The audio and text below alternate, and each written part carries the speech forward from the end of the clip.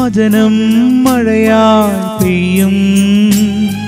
കൃപതൻ നിറവായൊഴുകും. വിടുതൽ നൽകുന്ന വചനം. അറിവിന്റെ പൊരുളാകും വചനം. സൗഖ്യമാ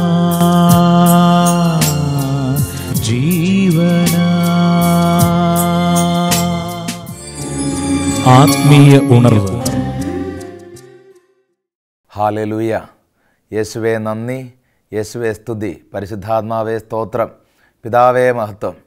മിശിഹായിൽ സ്നേഹം നിറഞ്ഞ സഹോദരി സഹോദരന്മാരെ കർത്താവ ഈശോ നിങ്ങളെ ഓരോരുത്തരെയും സമൃദ്ധമായി അനുഗ്രഹിക്കട്ടെ എന്ന് മുംബൈ താബോർ ധ്യാന കേന്ദ്രത്തിൽ നിന്ന് പ്രാർത്ഥിക്കുന്നു ആശംസിക്കുന്നു. കർത്താവിന്റെ തിരുവചനം ഇന്ന് നമ്മെ ഓർമ്മപ്പെടുത്തുന്നു. ഒന്ന് കൊറിന്തോസ് ലേഖനം പതിനഞ്ചാം അധ്യായം അതിന്റെ പത്താം തിരുവചനം. കൊറിന്തോസിലെ സഭയ്ക്ക് എഴുതിയ ഒന്നാം ലേഖനം പതിനഞ്ചാം അധ്യായം പത്താം തിരുവചനം. പൗലോസ് ലിഹ ഒരു വലിയൊരു രഹസ്യം നമ്മോട് പറയുകയാണ്. രഹസ്യം ഇങ്ങനെയാണ് പറയുന്നത് ഞാൻ എന്തായിരിക്കുന്നുവോ അത് ദൈവകൃപയാലാണ്. എന്റെ മേൽ ദൈവം ചൊരിഞ്ഞ കൃപ നിഷ്ഫലമായി പോയിട്ടില്ല. നേരെ മറിച്ച് മറ്റെല്ലാവരെയും കാൾ അധികം ഞാൻ അധ്വാനിച്ചു. എന്നാൽ ഞാനല്ല എന്നിലുള്ള ദൈവകൃപയാണ് അധ്വാനിച്ചത്. ഈ വചനത്തിലേക്കൊന്ന് സൂക്ഷിച്ച് നോക്കുക. കർത്താവിന്റെ വചനം ഇങ്ങനെ ഓർമ്മപ്പെടുത്തുകയാണ്. പൗലോസ്ലിയ പറയുകയാണ് ഞാൻ എന്തായിരിക്കുന്നുവോ അത് ദൈവകൃപയാലാണ്. എന്ന് പറഞ്ഞാൽ പൗലോസ്ലിയ ശക്തമായിട്ട് സമർത്ഥിക്കുകയാണ് എന്റെ ഉള്ളിൽ ഒരു ദൈവകൃപയുണ്ട്. ആ ദൈവകൃപയെ എന്നെ എന്തോ ആക്കി തീർത്തു. എന്റെ ഉള്ളിൽ ഒരു ദൈവത്തിന്റെ കൃപ പ്രവർത്തിക്കുന്നിടത്തോളം കാലം എനിക്ക് മുന്നോട്ട് ഒരു ഒരു ഒരു നേട്ടങ്ങളുണ്ട്. ദൈവം ആഗ്രഹിക്കുന്ന വഴിയിലൂടെ എനിക്ക് സഞ്ചരിക്കാൻ സാധിക്കുന്നു. ദൈവം ആഗ്രഹിക്കുന്ന കാര്യങ്ങൾ പ്രവർത്തിക്കാൻ സാധിക്കുന്നു. അങ്ങനെ പൗലോസ്ലിഹ ഒരു രഹസ്യം പറയുകയാണ് എന്റെ ഉള്ളിൽ ഒരു ദൈവകൃപയുണ്ട്. വചനം കേട്ടുകൊണ്ടിരിക്കുന്ന സഹോദര സഹോദര ആദ്യമേ തന്നെ ഒന്ന് പ്രാർത്ഥിക്കാൻ സാധിക്കട്ടെ. ദൈവത്തിന്റെ കൃപ എന്റെ ഉള്ളിൽ നിറയട്ടെ. ദൈവത്തിന്റെ കൃപ എന്റെ കുടുംബത്തിൽ നിറയട്ടെ. ദൈവത്തിന്റെ കൃപ എന്റെ ജോലി മേഖലകളിൽ നിറയട്ടെ. ദൈവത്തിന്റെ കൃപ ഞാൻ എന്താഗ്രഹിക്കുന്നു അവിടേക്ക് കടന്നു വരട്ടെ. ഇങ്ങനെ തീക്ഷ്ണമായിട്ട് ഇപ്പോൾ പ്രാർത്ഥിച്ചുകൊണ്ടിരിക്കുക. കാരണം പൗലോസ്ലിഹ പറയുന്നു ദൈവകൃപ ഉണ്ടെങ്കിൽ ദൈവ പദ്ധതിയിലേക്ക് ആ കൃപ നമ്മളെ വലിച്ചു നീട്ടിക്കൊണ്ട് പോയിക്കോളൂ പോയിക്കൊണ്ടിരിക്കും. ദൈവത്തിന്റെ പദ്ധതി പൂർത്തിയാകുമ്പോൾ സന്തോഷവും സമാധാനവും നമ്മുടെ ഉള്ളിൽ നിറയും. അപ്പോൾ ദൈവകൃപയാണ് നമ്മളെ ദൈവത്തിന്റെ പദ്ധതിയിലേക്ക് നയിക്കുന്നത്. നമ്മളെ കൈക്ക് പിടിച്ച് നയിക്കുന്ന ഒരവസ്ഥ എന്നിട്ട് നോക്കുക വചനം നോക്കുക. എന്റെ മേൽ ദൈവം ചൊരിഞ്ഞ കൃപ നിഷ്ഫലമായി പോയിട്ടില്ല എന്ന് പറഞ്ഞാൽ പ്രിയപ്പെട്ടവരെ ഈ കാലഘട്ടത്തിൽ പൗലോസ്ലിഹായുടെ ഈ വചനത്തിന് വളരെയധികം പ്രശസ്തിയുണ്ട്. കർത്താവിന്റെ വചനം എന്താ പറയുന്നത്? എന്റെ മേൽ ദൈവം ചൊരിഞ്ഞ കൃപ നിഷ്ഫലമായി പോയിട്ടില്ല എന്ന് പറഞ്ഞാൽ എല്ലാ മക്കളുടെ ജീവിതത്തിലേക്കും കർത്താവിനെ ആഗ്രഹിക്കുന്നവരുടെ ജീവിതത്തിലേക്ക് ഒരു കൃപ ചൊരിയുന്നുണ്ട്. പക്ഷേ കാലക്രമേണ ഈ കൃപ നഷ്ടപ്പെട്ടു പോകാനൊരു സാധ്യതയുണ്ട്. അതാണ് പൗലോസ്ലി ഓർമ്മപ്പെടുത്തുന്നത്.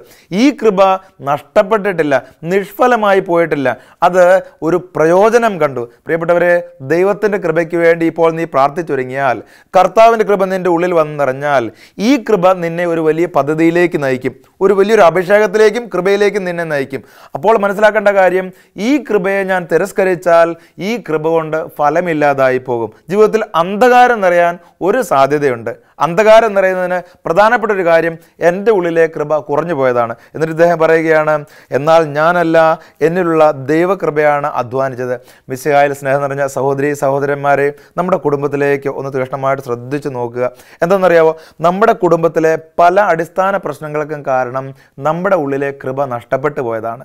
ദൈവം ആഗ്രഹിക്കുന്ന പദ്ധതിക്ക് വേണ്ടി നമ്മൾ തീഷ്ണമായി പ്രാർത്ഥിക്കുന്നു. പക്ഷേ ദൈവം ഈ പദ്ധതി നിറവേറാൻ നീ പ്രാർത്ഥിച്ച് തുടങ്ങും മുമ്പേ നിന്റെ ഉള്ളിൽ ഒരു കൃപ നിക്ഷേപിച്ചു കഴിഞ്ഞു.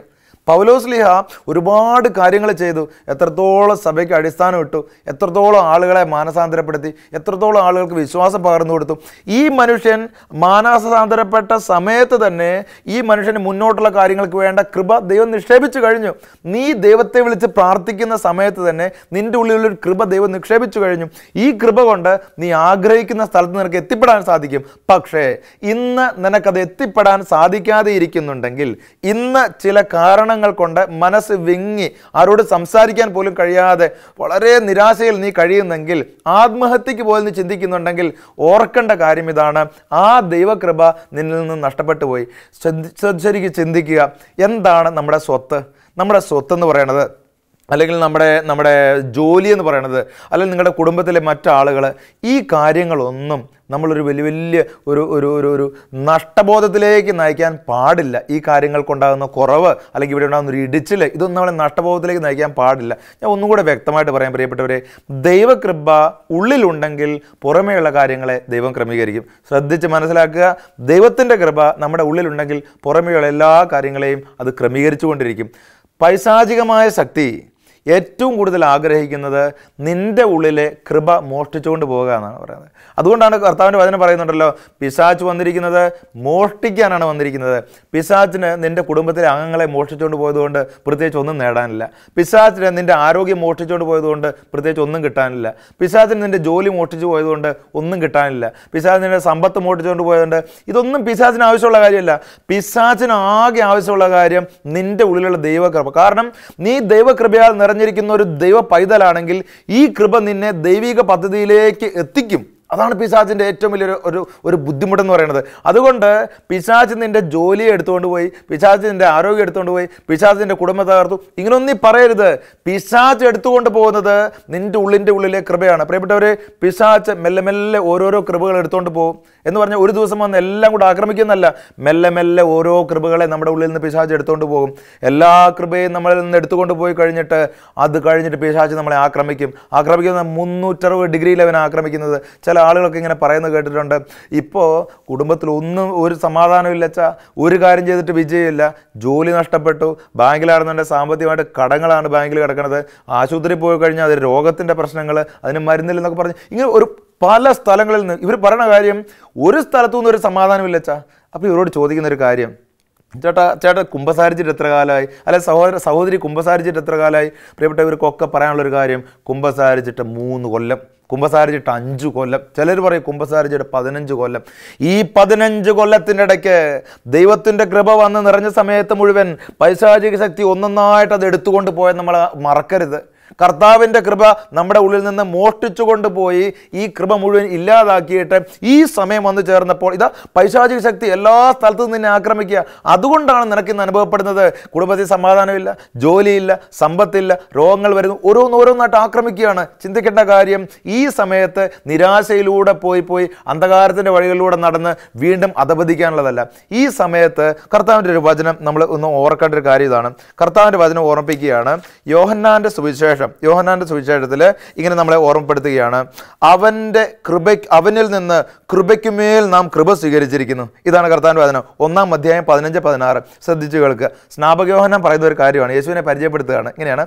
ഇവനെ പറ്റിയാണ് ഞാൻ പറഞ്ഞത്. എന്റെ പിന്നാലെ വരുന്നവൻ എന്നേക്കാൾ വലിയവനാണ്. കാരണം എനിക്ക് മുമ്പേ തന്നെ അവനുണ്ടായിരുന്നു ഇനി യേശുവിനെ കുറിച്ച് പറയുകയാണ്. അവന്റെ പൂർണതയിൽ നിന്ന് നാം എല്ലാം കൃപയ്ക്ക് മേൽ കൃപ സ്വീകരിച്ചിരിക്കുന്നു. എന്ന് പറഞ്ഞാൽ കർത്താവിന്റെ കരങ്ങളിൽ നിന്ന് നീ സ്വീകരിക്കുന്നത് നിന്റെ ജോലിയല്ല കൃപയാണ്.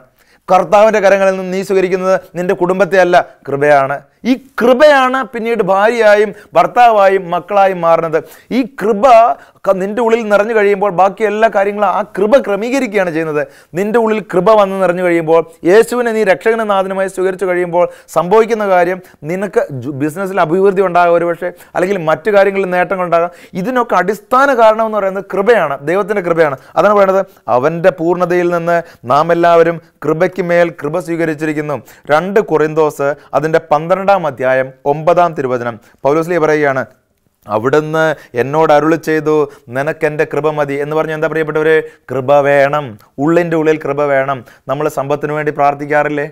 ജോലിക്ക് വേണ്ടി പ്രാർത്ഥിക്കാറില്ലേ? കൂട്ടുകാർക്ക് വേണ്ടി പ്രാർത്ഥിക്കാറില്ലേ? മക്കൾക്ക് വേണ്ടി പ്രാർത്ഥിക്കാറില്ലേ? നല്ല കോളേജിന് വേണ്ടി പ്രാർത്ഥിക്കാറില്ലേ? എല്ലാം പ്രാർത്ഥിക്കാറുണ്ട്. ചോദ്യം ഇതാണ് ദൈവകൃപയ്ക്ക് വേണ്ടി ഞാൻ പ്രാർത്ഥിക്കുക. ഏറ്റവും പ്രധാനപ്പെട്ട കാര്യം ദൈവത്തിന്റെ കൃപയ്ക്ക് വേണ്ടി പ്രാർത്ഥിക്കുക. പൈശാചിക ശക്തി വന്നിട്ട് എടുത്തുകൊണ്ട് പോകുന്നത് മറ്റുള്ള കാര്യങ്ങളല്ല. നിന്റെ ഉള്ളിലെ സത്യമായ കൃപയാണ്. അതുകൊണ്ട് പ്രിയപ്പെട്ട സഹോദര സഹോദരി വലിയൊരു അഭിഷേകത്തിൽ നിന്നെ നയിക്കട്ടെ. മാതാവിനെ നോക്കിയിട്ട് മാതാവിനെ നോക്കിയിട്ട് ഗബ്രിയൽ ദൂതൻ പറഞ്ഞ ഒരു വാക്കുണ്ട്. എന്താ പറഞ്ഞെന്നറിയാവോ? നോക്കി ഇങ്ങനെയാണ് പറയുന്നത്. ദൂതൻ അവളുടെ അടുത്ത് വന്നു എന്ന് പറഞ്ഞു. ലുക്കാടത്തിന് ശേഷം ഒന്ന് അതിന്റെ ഇരുപത്തിയെട്ട്. ദൂതൻ അവളുടെ അടുത്ത് വന്നു എന്ന് പറഞ്ഞു. എന്താ ദൂതൻ പറഞ്ഞത്? ദൈവകൃപ നിറഞ്ഞവളെ സ്വസ്തി കർത്താവ് നിന്നോട് കൂടെ എന്ന് പറഞ്ഞാൽ ആത്മാവിന്റെ പരിശുദ്ധാത്മാവിന്റെ ശക്തി ദൈവത്തിന്റെ കൃപ നിറഞ്ഞു നിൽക്കുകയാണ് മാതാവിനെ. ഇതാണ് പറയണത്. ദൈവത്തിന്റെ ആത്മാവ് നിറഞ്ഞ ആ ശക്തി നിറഞ്ഞ ദൈവത്തിന്റെ കൃപ നിറഞ്ഞ മാതാവിന്റെ ജീവിതം. പ്രിയപ്പെട്ടവരെ ഇന്ന് നമ്മൾ മാതാവിന്റെ മധ്യസ്ഥാപേക്ഷിച്ച് പ്രാർത്ഥിക്കുമ്പോൾ എത്രത്തോളം അനുഗ്രഹങ്ങൾ ചൊല്ലുന്നു. ഒരു ക്രിസ്ത്യാനിയുടെ വീട്ടിൽ നിങ്ങൾ ചിന്തിച്ച് നോക്കിയേ കൊന്തയില്ലാത്ത വീടുണ്ടാവുമോ? ഒരു നല്ല കുടുംബമാണെങ്കിൽ ആ വീട്ടിൽ കൊന്തയൊല്ലും. എന്താണ്? മാതാവില്ലാത്ത കുടുംബങ്ങളില്ല. മാതാവിന്റെ സാന്നിധ്യമില്ലാത്ത കുടുംബമില്ല. കാരണം എന്താ? മാതാവ് കൃപ കൊണ്ട് നിറഞ്ഞു. ഈ മാതാവിന്റെ കൃപ കൊണ്ട് നിറഞ്ഞല്ലോ. ഈ മാതാവ് കാൽവരി വരെ ഈശോയെ അനുഗമിച്ചു. ആ കൃപയെ അനുഗമിച്ചു മാതാവ് ദൈവത്തെ അനുഗമിച്ചു മാതാവ് കാൽവരി കുരിശിൽ തളർന്നു പോയില്ല. കൃപ ഉള്ളിൽ നിറഞ്ഞാൽ ജീവിതത്തിൽ ഒരിക്കലും തളരില്ല. ശ്രദ്ധിച്ച് മനസ്സിലാക്കേണ്ട ഒരു കാര്യമാണ്. മാതാവിനെ കുറിച്ച് പറഞ്ഞത് എന്താണ്?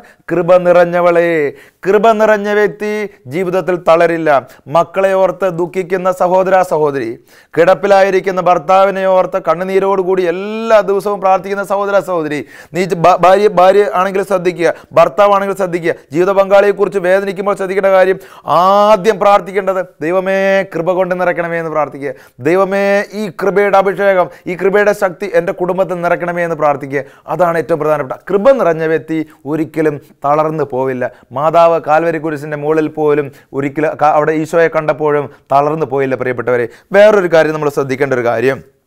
ഈ വിശുദ്ധ വിശുദ്ധ ജീവിതം ഈ പരിശുദ്ധ മാതാവ് എന്ത് ചെയ്തെന്നറിയാവോ? എലിസബത്തിനെ കാണാൻ വേണ്ടി പോയി. നിങ്ങൾ ചിന്തിക്കേണ്ട കാര്യം എന്താണെന്നറിയാവോ? എലിസബത്ത് നല്ല ഒരു വിശുദ്ധ ജീവിതം നയിക്കുന്ന ഒരു ഒരു കുടുംബം. എലിസബത്തും സക്കറിയായും. സക്കറിയ പുരോഹിതൻ എലിസബത്ത് അദ്ദേഹത്തിന്റെ ഭാര്യ. ഇത്രയും വിശുദ്ധ ജീവിതം നയിക്കുന്ന ഈ എലിസബത്തിനെ കാണാൻ വചനം പറയുന്ന മാതാവ് തിടുക്കത്തിൽ പോയി കൃപ നിറഞ്ഞാൽ നമ്മൾ ചെയ്യുന്ന കാര്യങ്ങൾക്കൊക്കെ ഒരു പ്രത്യേക ഒരു ഊർജം ഉണ്ടാവും.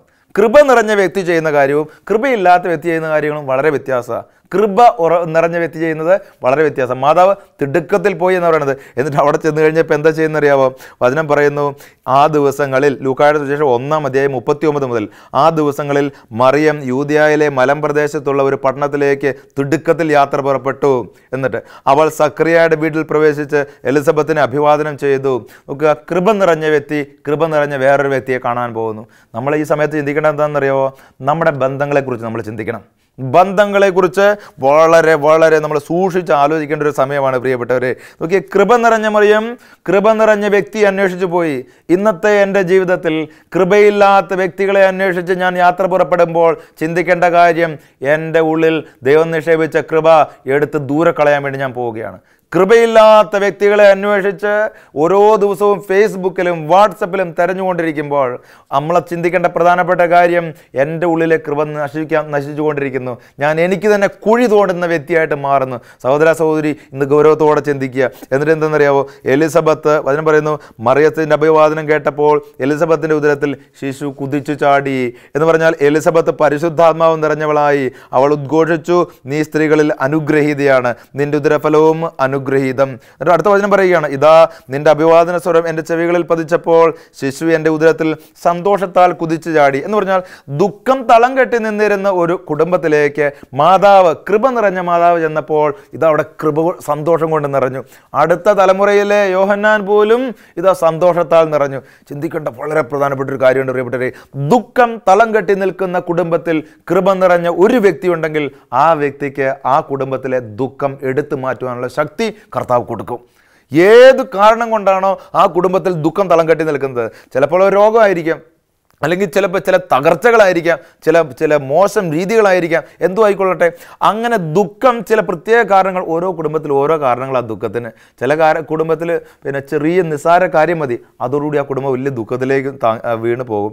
നമുക്ക് അങ്ങനെ കൊണ്ട് ആരും പറയാൻ പറ്റില്ല നിങ്ങൾ എന്താ ദുഃഖിച്ചിരിക്കുന്നത്? ഓരോ വ്യക്തിക്കും പലതരത്തിലുള്ള ദുഃഖങ്ങളാണ് പ്രിയപ്പെട്ട സഹോദര സഹോദരി ദുഃഖം തളം കെട്ടി നിൽക്കുന്ന കുടുംബത്തിൽ കൃപ നിറഞ്ഞ ഒരു വ്യക്തി ഉണ്ടെങ്കിൽ ആ വ്യക്തിയുടെ കൃപയിലൂടെ ദൈവം ആ കുടുംബത്തെ പിടിച്ചുയർത്തും. നോക്കുക ഈ മാതാവ് ഇതാ ആ കുടുംബത്തിൽ ചെന്നപ്പോൾ ഇതാ ആ കുടുംബത്തിലേക്ക് വലിയൊരു അനുഗ്രഹവും സന്തോഷവും സമാധാനവും എല്ലാം കടന്നു വന്നില്ലേ? നമ്മൾ ചിന്തിക്കുക എന്റെ എൻ- ഞാൻ എങ്ങോട്ടാണ് അന്വേഷിച്ച് പുറപ്പെടുന്നത് ഈ അടുത്ത് ഓർക്കുന്നു. പ്രിയപ്പെട്ടവരെ ഒരു ഒരു ഒരു ഒരു ബന്ധത്തകർച്ചയുടെ ഒരു കാര്യം ഓർക്കുകയാണ്. അതിങ്ങനെയാണ് സംഭവിച്ചത്. ഒരു ഒരു ചെറു ഒരു യുവാവായിട്ടുള്ള ഒരു വ്യക്തി അവന് അവന്റെ വീട്ടിലെ ഏറ്റവും നല്ല മകനായിരുന്നു. ബി ടെക്കൊക്കെ കഴിഞ്ഞ് പിന്നെ ബി ടെക്കും കഴിഞ്ഞ് അവൻ എം ബി എയും കൂടെ എടുത്തു. അത് കഴിഞ്ഞപ്പോൾ നല്ലൊരു ജോലിയൊക്കെ കിട്ടി. ഇതുപോലെ സ്വർഗം പോലെയുള്ള ഒരു കുടുംബം സന്തോഷത്തിൽ എന്നും പ്രാർത്ഥനയൊക്കെ ചൊല്ലുന്ന കുടുംബം ജോലിയെല്ലാം കഴിഞ്ഞിട്ട് ജോലി സ്ഥലത്ത് ജോലിക്കൊക്കെ പോയി കഴിഞ്ഞപ്പോൾ ജോലി സ്ഥലത്ത് ചെന്നപ്പോൾ അവിടെ ഒരു പെൺകുട്ടി ഒരു അന്യമതസ്ഥയായ പെൺകുട്ടിയുമായിട്ട് ഇവൻ ഒരു പ്രണയത്തിലായി. എന്ന് പറഞ്ഞാലും അന്യമതസ്ഥരായിട്ടുള്ള ആളുകളെല്ലാം മോശക്കാരാണ് ഇങ്ങനെയല്ല ഞാൻ പറഞ്ഞു വരുന്നത്. ചിന്തിക്കേണ്ട ഗൗരവമായിട്ടുള്ള കാര്യം എന്നറിയാമോ ഈ പെൺകുട്ടിയുടെ ചില അന്ധവിശ്വാസങ്ങൾ ഈ വെട്ടി പെൺകുട്ടി പറയും ചൊവ്വാഴ്ച ശരിയല്ല. ഈ പെൺകുട്ടി പറയും വെള്ളിയാഴ്ച ശരിയല്ല. ഇവിടെ കർത്താവ് യേശു ക്രിസ്തു വെള്ളിയാഴ്ച ദിവസം ക്രൂശി പിടഞ്ഞ് മരിച്ചതൊന്നും പിന്നെ ഇവൻ അങ്ങോട്ട് ഒന്നും നോക്കുന്നില്ല. പിശാച്ച് പിന്നെ ഇവന്റെ കണ്ണിനെ അങ്ങോട്ട് അന്ധമാക്കി. ഇവന്റെ ഉള്ളിലെ കൃപ മെല്ലെ മെല്ലെ പോകുന്ന നമ്മൾ ചിന്തിക്കേണ്ടത് കൃപയുടെ വ്യക്തിയെ അന്ധകാരത്തിൽ പിടിച്ചു തള്ളുവാൻ വേണ്ടി ചില വളരെ മനോഹരമായ ബന്ധങ്ങളൊക്കെ പിശാച്ച് ഒരുക്കി വെക്കും. നമുക്ക് പെട്ടെന്ന് കാണുമ്പോൾ തോന്നും വളരെ ആകർഷകമായിട്ട് വളരെ നല്ലതായിട്ടൊക്കെ ഇങ്ങനെ തോന്നും. ഈ കൃപ നിറഞ്ഞ വ്യക്തിയുടെ ഉള്ളിലെ കൃപ മോഷ്ടിക്കുക എന്നുള്ള ഒരൊറ്റ ലക്ഷ്യത്തിന്റെ പുറത്താണ് ആ മകന് ആ മകന്റെ ജീവിതം തകർത്ത് ആ കുടുംബത്തിൽ ഒരു നിരാശ കൊണ്ടുവരിക. ഇതാണ് പിശാച്ചിന്റെ ലക്ഷ്യം. എന്നിട്ട് എന്ത് സംഭവിച്ചെന്നറിയാവോ? ഇവന് ഈ പെൺകുട്ടിയുമായിട്ട് പ്രണയത്തിലായി. ഇവ മെല്ലെ മെല്ലെ അവരുടെ ആചാരങ്ങൾ അനുഷ്ഠിക്കാൻ തുടങ്ങി. ഈ സത്യദൈവത്തെ ഉപേക്ഷിച്ച് പല വഴികളിൽ കൂടെ നടന്നു. നമുക്കറിയാൻ പറയപ്പെട്ടവർ കർത്താവ് പറഞ്ഞല്ലോ എന്റെ നാമമല്ലാതെ വേറെ എന്ത് നാമമാണ് നിനക്ക് രക്ഷയ്ക്ക് വേണ്ടി വേണ്ടത്? കർത്താവിന്റെ കൃപയല്ലാതെ ഈ ദൈവത്തിന്റെ ശക്തി അല്ലാതെ വേറെ എന്ത് ശക്തിയാണ് നിനക്ക് വേണ്ടത്? യേശുവേ നന്ദി. യേശുവേ സ്തോത്രം. കർത്താവിന്റെ വചനം സുഭാഷിതങ്ങൾ അതിന്റെ പതിനാലാം അധ്യായം പന്ത്രണ്ടാം തിരുവചനം. ശരിയെന്ന് തോന്നുന്ന വഴി ചിലപ്പോൾ മരണത്തിലേക്ക് നയിക്കുന്നതാകാം. പ്രിയപ്പെട്ടവരെ ഈ മകന്റെ ജീവിതത്തിൽ ശരിക്കും നഷ്ടപ്പെട്ടത് എന്താണെന്ന് ആ മകൻ തിരിച്ചറിയണം. അപ്പനെ അമ്മയെ ഇപ്പോൾ കാണാൻ സാധിക്കുന്നില്ല. അവൻ വേറൊരു ലോകത്തിലേക്ക് എത്തിപ്പെട്ടു. നഷ്ടപ്പെട്ട കൃപയുടെ കണക്ക് ആ മനുഷ്യനും ആ മകനൊന്ന് വിലയിരുത്താൻ സാധിക്കുന്നില്ല. വാസ്തവത്തിൽ പൈശാചിക ശക്തി അവനിൽ നിന്ന് എടുത്തു മാറ്റിയത് എന്താണെന്നറിയാവോ? അവന്റെ അപ്പന്റെ സ്നേഹം. വർഷങ്ങളായി ഓമനച്ച് വളർത്തിയ അപ്പന്റെ ആ ഒരു സ്നേഹവും കൃപയും അതങ്ങ് എടുത്തു മാറ്റി. അമ്മയുടെ പരിപാലന അമ്മയുടെ സ്നേഹം അമ്മയുടെ ആ ഒരു അതെല്ലാം അങ്ങ് എടുത്തു മാറ്റി. വർഷങ്ങളായിട്ട് അവനെ പഠിപ്പിച്ച് അവനൊരു ജോലി കിട്ടി ഒരു വലിയ നന്മയുടെ ഒരു ഭാവി. അത് ആ ഒരു അനുഗ്രഹം അവന്റെ ഉള്ളിലുണ്ട് ആ കൃപയുണ്ട്. ആ കൃപയുടെ നീർച്ചാൽ അതും കൂടെ എടുത്തു മാറ്റി. എൽ പിശാചിന്റെ ലക്ഷ്യം ഓരോരോ അനുഗ്രഹങ്ങൾ അവന്റെ കുടുംബത്തിലെ അപ്പനിലൂടെ കിട്ടേണ്ട ആ ഒരു കൃപ അമ്മയിലൂടെ കിട്ടേണ്ട കൃപ ആ ജോലിയിലൂടെ കിട്ടേണ്ട കൃപ എല്ലാം ഓരോന്നോരോന്നായിട്ട് പൈശാചിക ശക്തി എടുത്തു മാറ്റിയിട്ട് ഒരു അപകടത്തിലേക്ക് ഒരു കുഴിയിലേക്ക് കൊണ്ടുപോയി ആ മകനെ ചാടിച്ചു. പ്രിയപ്പെട്ടവർ അവരുടെ വിവാഹം കഴിഞ്ഞു. വിവാഹം കഴിഞ്ഞിട്ട് ആറ് മാസം നിന്നില്ല. ആറ് മാസം നിന്നില്ല. വിവാഹം കഴിഞ്ഞപ്പോഴാണ് തനി സ്വഭാവങ്ങളൊക്കെ ഓരോന്നോരോന്നോരോന്ന് തിരിച്ചറിയേണ്ടത്. ജീവിതത്തിന്റെ പ്രതീക്ഷകൾ മെല്ലെ മെല്ലെ നഷ്ടപ്പെട്ടും തുടങ്ങിയപ്പോൾ ഈ മകൻ എങ്ങനെയാണെന്നറിയോ ചെയ്യാൻ തുടങ്ങിയത്? ദുശീലങ്ങളിലേക്ക് പോയി. സിഗരറ്റ് വലി തുടങ്ങി. മദ്യപാനം തുടങ്ങി. ഓരോരോ ദുശീലങ്ങൾ ആക്രമിക്കാൻ തുടങ്ങി. നോക്കി പിശാച്ച് ആ മകനിൽ നിന്ന് ഓരോരോ കൃപകൾ എടുത്തു മാറ്റിയിട്ട് അവനെ പിന്നെ ചുറ്റുനിന്ന് ആക്രമിക്കുകയാണ്. പല ദുശീലങ്ങളോട് ഈ മകനെ ആക്രമിക്കുകയാണ്. ആറ് മാസം തരുന്നില്ല പ്രിയപ്പെട്ടവരെ ഇതാ ആ ആ കുടുംബം അവരെ രണ്ടുപേരുടെ ജീവിതം തകർന്ന് തരിപ്പണമായിട്ട് രണ്ടും രണ്ട് വഴിക്ക്. ആ മകൻ ഇവിടെ ഇവിടെ ധ്യാനിക്കാൻ വന്നപ്പോൾ ആ മകൻ പറഞ്ഞ ഒരു കാര്യം ഇതാണ്ട്. ഒരിറ്റ് സമാധാനത്തിന് വേണ്ടി വന്നതാണ് അച്ഛാ. ഒരിറ്റ് സമാധാനത്തിന് വന്ന. സമാധാനം അടിസ്ഥാനപരമായിട്ട് വേണ്ടൊരു കൃപയാണ് കർത്താവ് പറഞ്ഞല്ലോ ഞാൻ നിങ്ങൾക്ക് സമാധാനം നൽകിയിട്ട് പോകുന്നു. ഈ സമാധാനം പോലുമില്ല. അടിസ്ഥാനപരമായിട്ട് കർത്താവ് നൽകിയ കൃപ പോലുമില്ല. എല്ലാ കൃപയും കർത്താവ് കർത്താവിന്റെ കൃപയും പൈശാചി ശക്തി എടുത്തു മാറ്റിയില്ലേ? എങ്ങനെ ഇത് സംഭവിച്ചു? യേശു ആഗ്രഹിക്കുന്ന കൃപയിൽ നീ ജീവിക്കേണ്ട സമയത്ത് മറ്റുള്ള പൈശാചികമായിട്ടുള്ള ചിന്തകളിലേക്ക് കടന്നു പോയിട്ട് വേറെ ചില സ്വാധീനങ്ങളിൽ പെടുമ്പോൾ പ്രിയപ്പെട്ട സഹോദര പ്രിയപ്പെട്ട സഹോദരി ജീവിതം വഴി തന്നെ മാറിക്കൊണ്ടിരിക്കുന്നു. അപകടത്തിലേക്ക് നീ പോയിക്കൊണ്ടിരിക്കുന്നു. കർത്താവിന്റെ വചനം ഓർക്കുക. സങ്കീർത്തനം എൺപത്തിനാലിന്റെ മൂന്നിൽ പറയുന്നു എന്റെ രാജാവും ദൈവവുമായ സൈന്യങ്ങളുടെ കർത്താവെ കുരുകിൽ പക്ഷി ഒരു സങ്കേതവും മിവൽ പക്ഷി കുഞ്ഞിനൊരു കൂടും അങ്ങയുടെ ബലിപീഠത്തെങ്കിൽ കണ്ടെത്തുന്നുവല്ലോ. എന്നേക്കും അങ്ങയെ സ്തുതിച്ചുകൊണ്ട് അങ്ങയുടെ ഭവനത്തിൽ വസിക്കുന്നവർ ഭാഗ്യവാന്മാർ. എന്ന് പറഞ്ഞാൽ കൃപയുടെ തണലിൽ ജീവിക്കുന്നവർ ഭാഗ്യവാന്മാർ അങ്ങയോട് ചേർന്നിരിക്കുന്നവർ ഭാഗ്യവാന്മാർ അങ്ങയുടെ കൃപ നിറയുന്നവർ ഭാഗ്യവാന്മാർ. കൃപ നഷ്ടപ്പെടുത്തുവാൻ പിശാച്ച് ആഗ്രഹിച്ചു ആ മകന്റെ ജീവിതം തകർത്തു. ഈ മകൻ വന്ന് പറഞ്ഞ ഒരു കാര്യം ഇതാണ്. എനിക്കൊന്ന് കുംഭസാരിക്കണോ അച്ഛാ.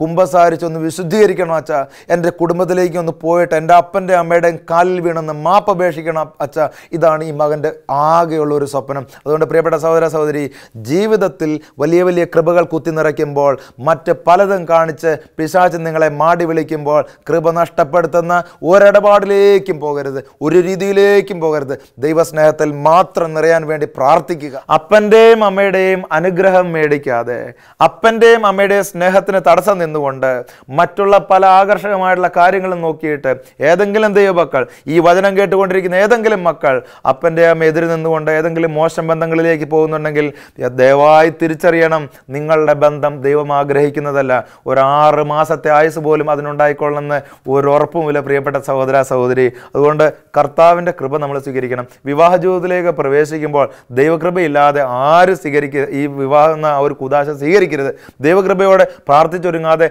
ആരും അത് സ്വീകരിക്കരുത്. കാരണം കുടുംബത്തിൽ മുന്നോട്ടുള്ള എല്ലാ പ്രശ്നങ്ങൾക്കും അടിസ്ഥാന കാരണം ഈ കൃപ നഷ്ടപ്പെട്ടു പോകുന്നതാണ്.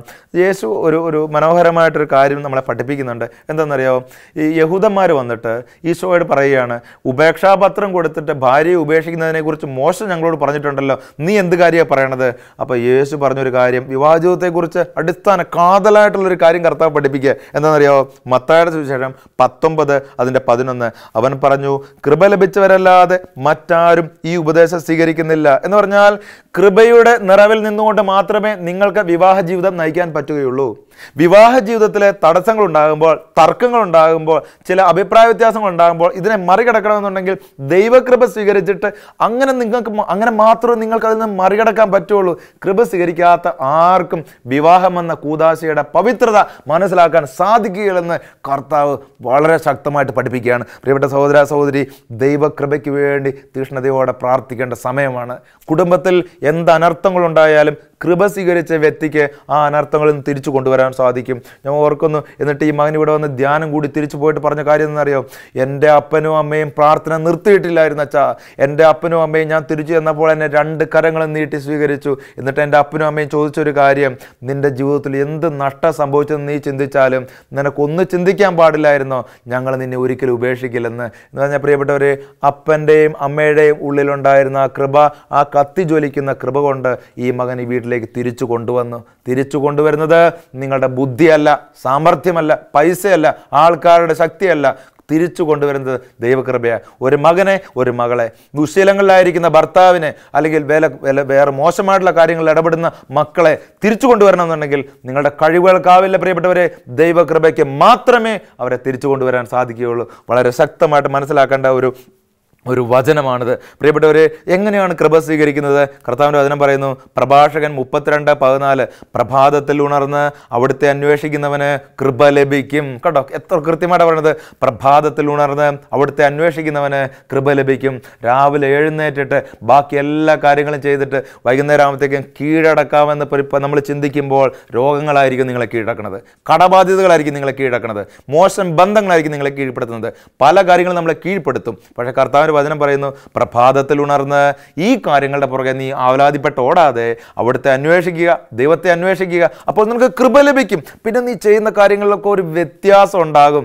ദൈവത്തിന്റെ കൃപ നിന്റെ കുടുംബത്തിൽ നിറയട്ടെ. പ്രഭാതത്തിൽ എഴുന്നേറ്റിരുന്നിട്ട് ഒരു പത്ത് മിനിറ്റ് കുടുംബത്തോട് വിളിക്കുന്ന പ്രാർത്ഥിക്കാൻ നമ്മൾ തീരുമാനമെടുക്കണം ഈ കൃപ കിട്ടിയിട്ട് ബാക്കി ഇരുപത്തിനാല് മണിക്കൂറിൽ എന്തെങ്കിലും ചെയ്താൽ മതി. ആ പത്ത് മിനിറ്റ് കൊണ്ട് നഷ്ടപ്പെടുന്ന കാര്യങ്ങൾ അങ്ങ് നഷ്ടപ്പെട്ടു പോകട്ടെ. അതുകൊണ്ട് വചനം പറയുന്നു പ്രഭാഷകൻ മുപ്പത്തിരണ്ട് പതിനാല് പ്രഭാതത്തിൽ ഉണർന്ന് അവിടുത്തെ അന്വേഷിക്കുന്നവന് കൃപ ലഭിക്കും. ദൈവത്തിന്റെ വചനം വിശ്വസിക്കാൻ പറ്റുന്നതാണ്. കർത്താവിന്റെ വചനം മാറ്റമില്ലാത്തതാണ്. അതാണല്ലോ ആകാശവും ഭൂമിയും കടന്നു പോകും എന്നാൽ എന്റെ വചനങ്ങൾ കടന്നു പോവുകയില്ല.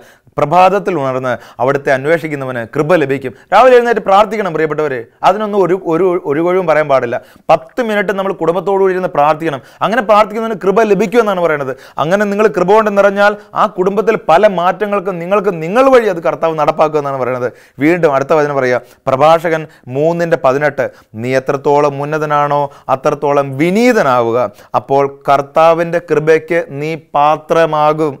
നമുക്ക് നമ്മുടെ കഴിവിൽ ആശ്രയിച്ചിട്ട് ജോലി ചെയ്തെല്ലാം നേടാമെന്ന് വിചാരിക്കരുത്. തെറ്റാണത്.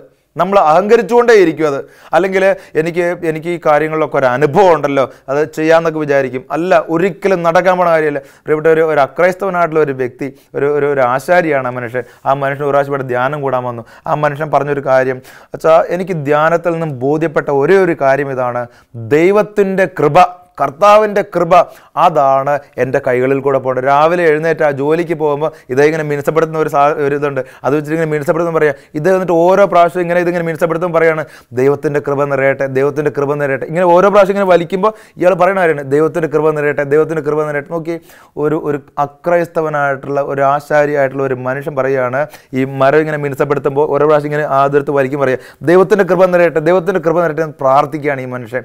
നമുക്ക് അദ്ദേഹത്തിന് കിട്ടിയ ബോധ്യം ഈ കൃപ നിറഞ്ഞു കഴിഞ്ഞാൽ ജീവിതം ആ മിനുസമുള്ള പ്രതലത്തേക്കാൾ സുന്ദരമായി തീരും. ഇതാണ് മനുഷ്യന് കിട്ടിയ ബോധ്യം. നിങ്ങളുടെ ജീവിതം സുന്ദരമായി തീരും പറയപ്പെട്ടവരെ ദൈവകൃപ ഇങ്ങനെ ഉള്ളിലേക്ക് നിറഞ്ഞു കഴിയുമ്പോൾ ജീവിതം എത്രയും സന്തോഷം കൊണ്ട് നിറയും അഭിഷേകം കൊണ്ട് നിറയും. ഇതിനൊരു വ്യത്യാസമുണ്ട് നമ്മുടെ ജീവിതത്തിൽ. ദൈവകൃപ നിറയട്ടെ. ആ ഒരു ആശാരിയായിട്ടുള്ള മനുഷ്യന് അക്രയസ്ഥനായിട്ടുള്ള കിട്ടിയ ആ മനുഷ്യന് കിട്ടിയ ആ ഒരു വെളിപാട് എന്തൊരു വലിയ വെളിപാടാണ് പ്രിയപ്പെട്ടവരെ. കർത്താവിനവൻ പറയുന്നു പ്രഭാതത്തിലുണ്ടെന്ന് അവിടുത്തെ അന്വേഷിക്കുന്നവന് കൃപയ്ക്ക് കൃപ ലഭിക്കും.